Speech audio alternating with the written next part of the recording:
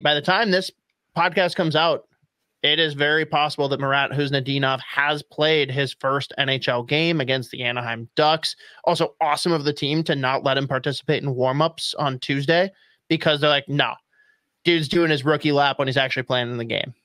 Done and yeah. done. Um, but you've been saying it for years now. But final little pump here, like, what are the fans in for? Like you said, we have been waiting. Well, I definitely have been waiting anxiously since I don't know, maybe 12 minutes after they drafted him. I was like, I this kid is so fucking good. Um and anyone that wants to get a taste of uh, who's Khusnutdinov. If you want to, uh, you know, freshen up, we do. Our YouTube channel, we did throw up the uh, Marat Khusnutdinov highlight film from the past couple years in the KHL. It's a longer one than the other highlight videos. Like it's like 16 minutes or so. Kudos um, to you, by um, the way, Z. Like great highlight reel, and it hasn't even been a week, and it's already got almost 5,000 views. Let's get it to 10. Let's go. Let's go. That. I did. I did fuck up the first tweet though. I did because I just blindly took the first link I saw in that email you sent me once it was done and posted to YouTube, and that was the Riley Heidt video. Um, so my when I sent the initial tweet out, I like looked. I was like, oh fuck, I forgot I scheduled this tweet for. I think in Minnesota it was 9 a.m. Uh, and I looked at it like an hour after I posted the tweet. First comment, Russo, that is Heidt. I was like, fuck. God damn it. God damn it, dude. And then, and, then, and then, Russo never went back and reshared it either. So that that's yeah, on you. You're wearing that nope, one. I forget who it was. One of one of our other followers, he was a beauty, immediately followed up with the actual link. So shout out. I forget who that was. I wish I I should have had that handy. But um Marat Khusnutdinov, like you said, it was not shocking, but a little bit heartbreaking when he did sign that two year extension um, because he had made it very well known that he was planning on coming to Minnesota as soon as his KHL deal ended. Um, and then Russia did Russia things. So he's finally here. He's clearly very excited to be here. What the Wild are getting are or is a two-way elite one of he's probably looking at their prospect pool now, like especially like they've targeted guys who really move. He is like there's like a good skater, there's a great skater, and there's elite skating ability. He's got top end speed. He is unbelievably deceptive with his feet, very agile. Um, but he definitely has more upside offensively than he's shown, like especially this year with how bad Sochi was. Um, no, Z, but his calling card. John Robinson here, though. How big is he actually? Because Russo came so, out and said he was like five eleven, and I about pissed myself. Dude, uh, so I heard that, and I was shocked because like he's been listed. I think when they drafted him, he was five nine, and I mean like one forty. That was so generous. That was generous five nine. Yeah, I well the next year I remember we did that. We did the prospect show with uh, the Sound the Foghorn guys, and I was like, yeah, I, I guess he grew this year. He's five ten on like the the best of days. Like I, I was like, yeah, that feels generous, but um, he, but the past couple years he has a bulked up like big time. And so a lot of his goals in the KHL have come from the net front where he's out muscling dudes that are like six five fucking mutants. like so he's and like you kind of see that with a guy like Marco Rossi too, how good, despite his small frame, he is a fantastic net front guy. He's absolutely willing to get in the mix. Um, Khusnutdinov, maybe not quite at that level, but he is so smart. He's able to just like manipulate the sticks defensively. He finds loose pucks. Um, so he can be a decent net front guy in his own right, but um, he can play center. He'll probably play wing here, but you're looking at he's got enough upside offensively that like if he's not driving a line, he could play on like your second line, but he's most likely a third line pivot. Um, but he is an elite defensive forward, like elite. Um, when they when Scott was actually letting him play last year, he was like probably killing 90% of their penalties like by himself like winning faceoffs and then just doing all the dirty work defensively. He generates like shorthanded chances just with how fast he is and how good he is in transition. Like his change of pace too. Like he is electric. I am very, very excited to finally see him make the debut. I was nervous that like Sochi would find a way to get him to sign another fucking contract. I was like pissing myself. Um yeah.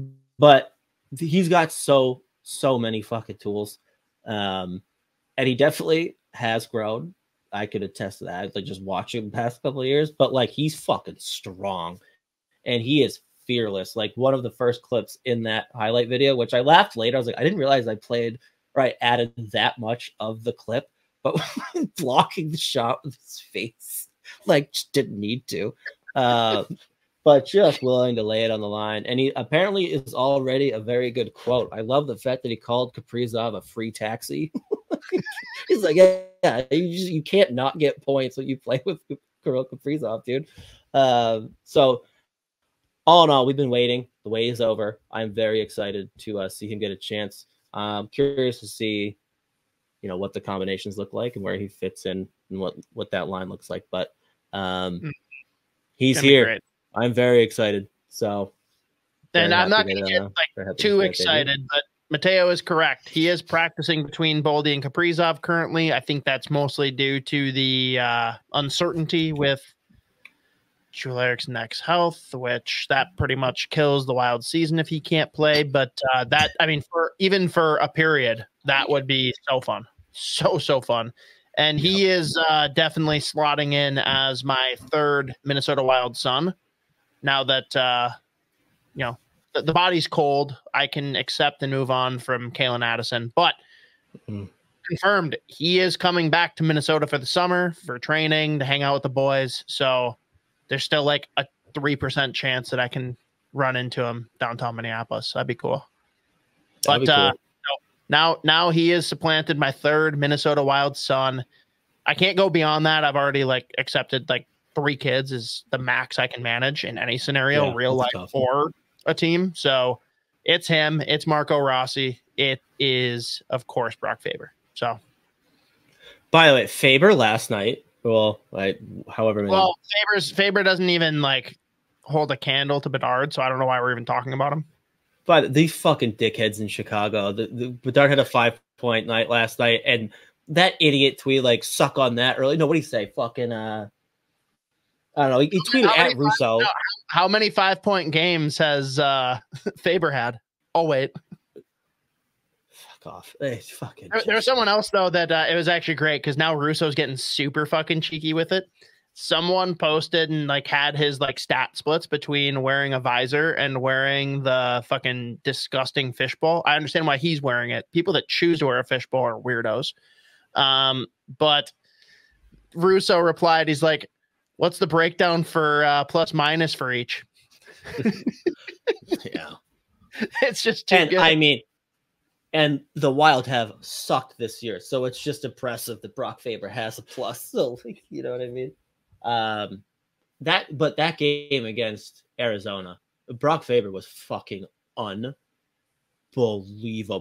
Like legitimately in the first period, every time he stepped on the ice, like, all right, I guess I'll just take the game over with Kirill right now. And like they went to fucking work. Um, especially leading up to that first goal, just a ridiculous shift. When he just decides to go dirty dancing at the blue line at full speed. It is electric, dude.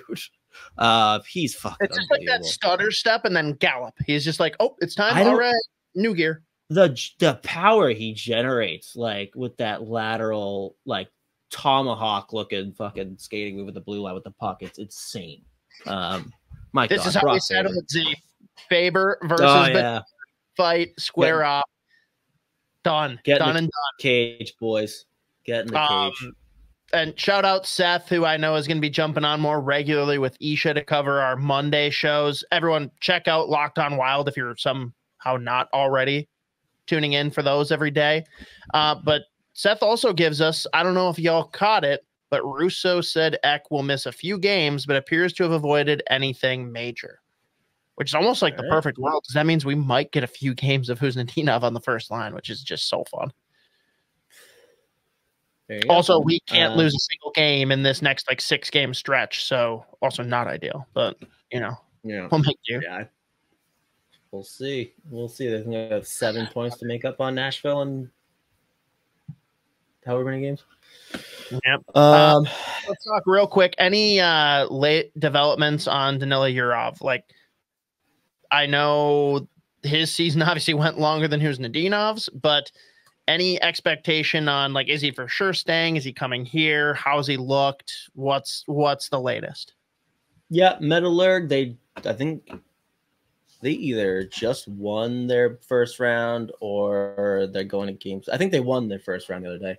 Um, he's just doing more of the same, and again, the the more he plays with confidence, like he legitimately is. There have been a few games with Metallurg, and I've watched a couple of playoff games where he's just taking over.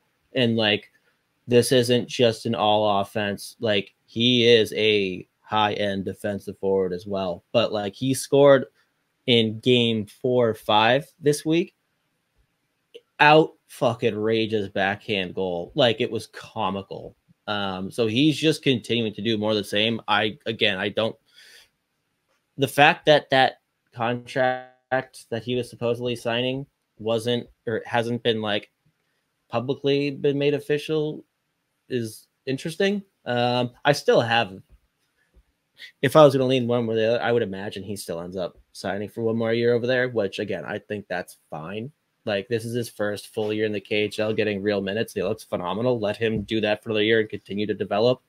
Given the fact that he basically lost two years of development, like the COVID year, and then just like getting benched for Russian shit. Yeah. nine months um, for no reason. If he signs for another year over there, like let him just keep doing his thing. Like he's playing a ton. Of, he's playing more center now um, than he is wing at this point. So um, like you're just letting him continue to develop over there and play more center. So um, this Seth almost gave me a concussion here. More like metal urge you to let Yurov come here.